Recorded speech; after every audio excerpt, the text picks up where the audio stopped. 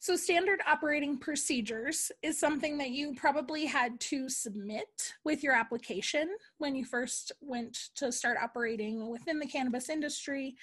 Some states are different. Some require a big long list of SOPs. Some just want waste plans and evacuation routes, things like that, um, a little bit easier. But when it comes down to it, your standard operating procedures should be your